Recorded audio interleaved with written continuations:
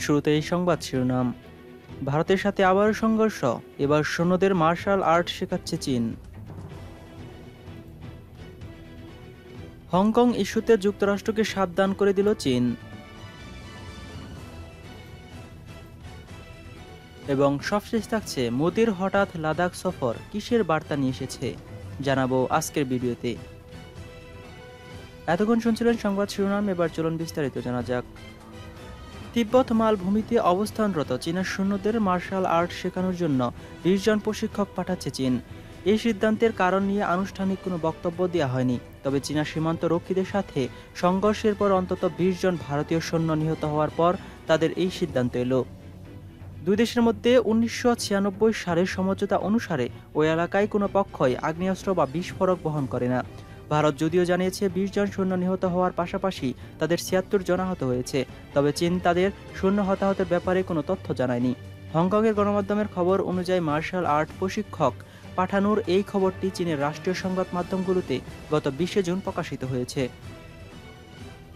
রাষ্ট্রীয় প্রচার মাধ্যম সিসিটিভি জানিয়েছে, বিশে বিশ জন মার্শাল আর্ট যোদ্ধা তিব্বতের রাজধানী লাসাক অবস্থান করবে। তবে চীনের গণমাধ্যমগুলিতে এটা নিশ্চিত করা হয়নি যে তারা ভারত সীমান্তে দায়িত্বরত চীনা সৈন্যদের প্রশিক্ষণ দেবে কিনা। লাদাখে গত পনেরোই জুন গালোয়ান রিভার ভ্যালির ওই সংঘর্ষের ঘটনার একে অপরকে দায়ী করেছে দুই পারমাণবিক শক্তিধর দেশ, চীন এবং ভারত। চরম জলবায়ু এবং অতি উচ্চ ওই অঞ্চলটি আকসাই চীনের কাছাকাছি। চীন নিয়ন্ত্রিত যে এলাকার মালিকানা দাবি করেছে ভারতও। প্রায় অর্ধশতকের মধ্যে দুই দেশের মধ্যে এই প্রথম সংঘর্ষে এত হতাহতর ঘটনা ঘটল।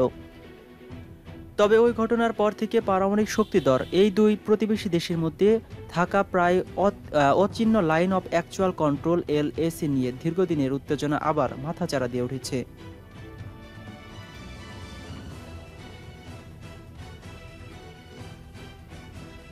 হংকংয়ের জাতীয় নিরাপত্তা আইন নিয়ে মার্কিন যুক্তরাষ্ট্রকে আগাম পাল্টা ব্যবস্থা নেওয়ার বিষয়ে সতর্ক করেছে চীন। যুক্তরাষ্ট্র যদি চীনা কর্মকর্তাদের সাথে ব্যবসায় যুক্ত এমন ব্যাংকগুলোতে আইনি চাপ প্রয়োগের চেষ্টা করে, তবে চীন ওয়াশিংটনের বিরুদ্ধে প্রয়োজনীয় পাল্টা ব্যবস্থা নেবে বলে হুঁশিয়ারি দিয়েছে। মার্কিন সিনেটের সর্বসম্মতিক্রমে হংকং আইনটি অনুমোদনের পর আজ শুক্রবার বিলটি প্রেসিডেন্ট ডোনাল্ড ট্রাম্পের স্বাক্ষরের জন্য হোয়াইট হাউজে প্রেরণ করা হয়েছে। তারপরই চীন এ সতর্কবাণী জানিয়েছে। চীনের ন্যাশনাল পিপলস কংগ্রেসের পররাষ্ট্র বিষয়ক কমিটি বলেছে, মার্কিনীদের পদক্ষেপে চীনের অভ্যন্তরীণ বিষয়গুলিতে চূড়ান্তভাবে হস্তক্ষেপ করেছে এবং আন্তর্জাতিক আইন লঙ্ঘন করেছে। কমিটি আরও জানিয়েছে, যদি যুক্তরাষ্ট্র ভুল পথ অবলম্বন করে, তবে চীন তা ধীরভাবে প্রতিরোধ করবে। ইতিমধ্যে চীনকে হংকংয়ের পরাধীনতা, বিচ্ছিন্নতা, সন্ত্রাসবাদ এবং বিদেশি শক্তির সাথে জোটবদ্ধকরণ নিষিদ্ধ আইন প্রতিষ্ঠা করায় নানা সমালোচনার শিকার হতে হয়েছে। হংকংয়ের গণমাধ্যমপন্থী বিক্ষোভকারীদের পাশাপাশি বিদেশি রাষ্ট্রগুলো বলছে, আইনটি উনিশশো চুরাশি সালের চীনের সাথে ব্রিটিশ চুক্তি অনুযায়ী হংকংয়ে এক দেশ দুই নীতি নীতি লঙ্ঘন করেছে।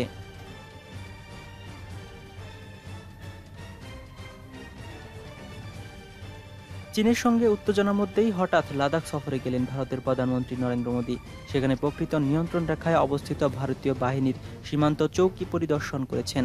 সীমান্তে মোতায়েন সেনা সদস্যদের সঙ্গে কথাও বলেছেন তিনি। প্রধানমন্ত্রীর এই আচমকা সফর অত্যন্ত তাৎপর্যপূর্ণ বলে মনে করছেন প্রতিরক্ষা বিশেষজ্ঞরা। তিন বাহিনীর প্রধান সিডিএস জেনারেল বিপিন রাওয়াত এবং স্থল বাহিনীর প্রধান মনোজ মুকন্দ নরবনে নিয়ে শুক্রবার স্থানীয় সময় দশটার দিকে লেহ সামরিক ঘাটিতে অবতরণ করেন মোদি। এলএসিতে ভারতীয় বাহিনীর যে সব সীমান্ত চৌকি রয়েছে, সেগুলোর কয়েকটিতে প্রধানমন্ত্রী গিয়েছেন এবং সীমান্তে মোতায়েন সেনাদের সঙ্গে কথা বলেছেন। পনেরোই জুন রাতে গালোয়ান সংঘর্ষে যে সেনারা আহত হয়েছিলেন, তাদের সঙ্গেও মোদি ইতিমধ্যেই লেউহেতে দেখা করেছেন বলেও খবর পাওয়া গেছে। খবরে বলা হয় প্রধানমন্ত্রী দপ্তর এবং প্রতিরক্ষা মন্ত্রণালয় কারোর পক্ষই থেকেই আগে জানানো হয়নি যে মোদি আজ নিজেই লাদাখে যেতে পারেন। গতকাল বৃহস্পতিবার প্রতিরক্ষা মন্ত্রী রাজনাথ সিংয়ের লাদাখ সফরের কথা ছিল। সে সফর শেষ মুহূর্তে বাতিল হয়ে যায়। কেন বাতিল হলো তা স্পষ্ট জানায়নি দিল্লি। ভারতীয় প্রতিরক্ষা বিশেষজ্ঞরা মনে করছিলেন চীনের সঙ্গে আলোচনার প্রক্রিয়া এগোচ্ছে বলে রাজনাথের সফর স্থগিত করা হয়েছে। ভারত যে এখন সংঘাত চাইছে না, বরং পরিস্থিতি প্রশমিত হয়ে এলে সামরিক তৎপরতা কমানোই যে ভারতের লক্ষ্য, রাজনাথের সফর স্থগিত করে সেই বার্তায় দেওয়া হলো বলেই কেউ কেউ ব্যাখ্যা দিয়েছেন। কিন্তু শুক্রবার সকালে স্পষ্ট হয়ে গেছে যে আরও অনেক বড় বার্তা চীনকে দেয়া ছিল বলেই বৃহস্পতিবার রাজনাথের সফর স্থগিত করা হয়েছিল। ফলে মোদি আচমকা লাদাখ পৌঁছানোই ভারতের, ফলে মোদির আচমকা লাদাখ পৌঁছানোই ভারতের কৌশলগত বার্তায় বদলে গেল বলে মনে করছেন অনেকেই। ওই প্রতিবেদনে আরও বলা হয়েছে, মোদির এই সীমান্ত সফরকে অত্যন্ত গুরুত্বপূর্ণ বলে মনে করছেন প্রতিরক্ষা বিশেষজ্ঞ এবং আন্তর্জাতিক সম্পর্ক বিশ্লেষকরা। পরিস্থিতি অত্যন্ত গুরুতর না হলে বা খুব বড় পদক্ষেপের কথা না ভাবলে প্রধানমন্ত্রী নিজের সীমান্ত চৌকিতে যান না।